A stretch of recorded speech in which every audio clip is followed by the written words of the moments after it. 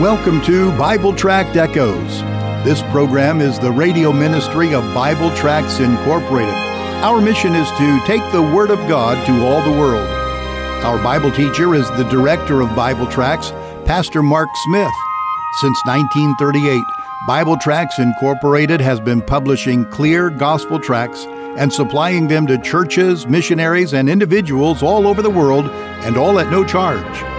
Information on how you can receive a free sample pack of our tracts will be given at the end of this broadcast. Now, for our Bible study, here is our teacher, Pastor Mark Smith. What a delight it is to be with you here once again at Bible Tract Echoes. Thanks for joining us. And by the way, if this happens to be your very first time to be part of our Bible study together, I say a very special welcome to you. We open the Bible and we walk through books of the Bible. That's typically what we do here. We're in a study in 2 Peter, and my Bible is open to 2 Peter chapter 2 right now. If you can, get your own copy of the Word of God and join me there, 2 Peter and chapter 2. And as we go through our time today, I will be encouraging you to get a free sample packet of our English gospel tracts. My announcer is going to come on at the end and give three ways by which you can give to us your name and your mailing address. Be ready with pen and paper to jot down our contact information. I'm going to highlight one of the tracts here today, one of the tracts we have for children. And please, get the gospel tracts from us. Let's you and I become partners in the heartbeat of God, which is giving the gospel to lost people. Now, before we talk about the tract, let me lead into our Bible study this way. Many years ago, in a small rural town in upstate New York, the town was Mount Upton by name, a small girl ran out into the street and was killed by a car. Now, this happened right in front of the home of the Baptist pastor, and he ran out and he cradled the little girl as she died. Uh, just a few seconds later, the girl's parents came running, but it was too late.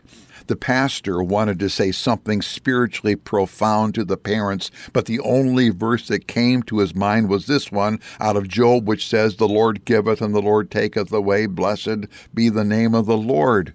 Well, the parents took their child up in their arms, and the pastor was soon back in his own house, but he was very upset with himself. That verse from Job chapter 1 was the wrong verse, he told himself.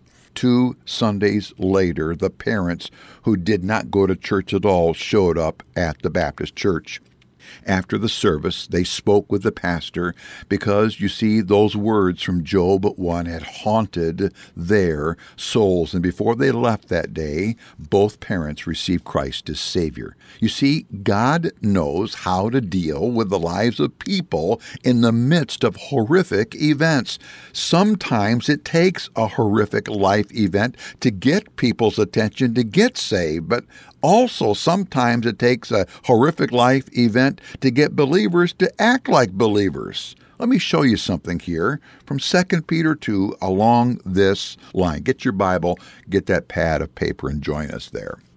I mentioned a gospel tract here a moment ago all that is is an evangelism tool. It's a short, written presentation of God's plan of salvation that's found in the Word of God. Each of our gospel tracts lays out the gospel. The one in front of me right now is entitled Seven Questions Boys and Girls Ask. Seven questions boys and girls ask. This is designed to help lead a child to Christ. It's good for a mom and dad, for a grandparent, for a Sunday school teacher, for a vacation Bible school teacher, whatever the case may be, people that have children under their care people who know Christ and want the children to receive Christ. Children's hearts are so tender to the gospel, but we've got to give the gospel to them in a way they get it. Here are some of the questions in this gospel tract. The first one Who is God? It's answered with a Bible verse. Second question Who is Jesus? It is explained here. Third question Where do we come from? The final question is this How can you go to heaven? It's answered with a Bible verse. Oh, friend. Here is a great, great gospel tool. Seven questions boys and girls ask. Sometimes kids can ask difficult questions, can't they? Here's a tool to help answer them. Get it from us, please. Be ready when my announcer gives our contact information. You and I can become partners. This is the 80th year that our ministry has been publishing gospel tracts and giving them away free of charge. Let's get on the program here. Let you and I become partners. Well, if your Bible's open to 2 Peter chapter 2, beginning of verse 7, the Bible says this and delivered just Lot, vexed with the filthy conversation of the wicked, for that righteous man dwelling among them, and seeing and hearing, vexed his righteous soul from day to day with their unlawful deeds. The Lord knoweth how to deliver the godly out of temptations, and to reserve the unjust unto the day of judgment to be punished. We're going to stop right there. Now, I began reading here in the middle of a rather long sentence. You see, verses 4 through 10 are one long sentence, and uh, oh, this whole sentence in, that I'm looking at here is part of a passage about God judging false teachers. I've been using the word apostate as a label for these false teachers. An apostate teacher has two characteristics. Number one, they obviously teach error, but number two, an apostate knows Bible truth, but they have willfully rejected it. They reject truth to believe lies. Now, these false teachers were leading their listeners into judgment and what the Bible passage here calls damnation. That's a pretty harsh word, but it's what God says false teachers lead their followers into. My outline title for verses 7 through 9 is this An anchor. That's my key word here. An anchor during apostasy and coming judgment. In the passage, God was warning through the pen of Peter that God's judgment was coming due to people following the false teaching of these apostates.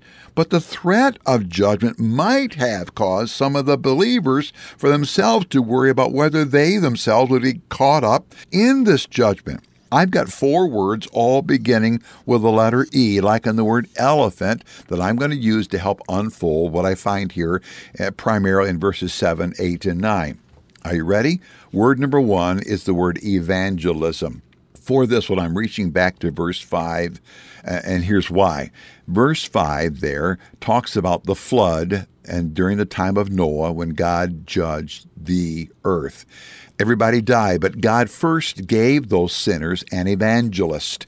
Noah was the preacher of righteousness spoken about in verse 5. Friend, God always offers grace before he brings judgment. He's done that in your life, he's done it in my life. If you're listening today and you do not know Jesus Christ as Savior, this very program is part of God's grace in your life. So, E word number one is the word evangelism. E word number two is the word evacuation based upon verse 7. Verse 7 begins, The Lord delivered, the word means rescued, the Lord delivered just Lot.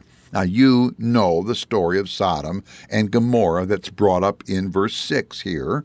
Fire from God came down to destroy the two cities due to their immorality.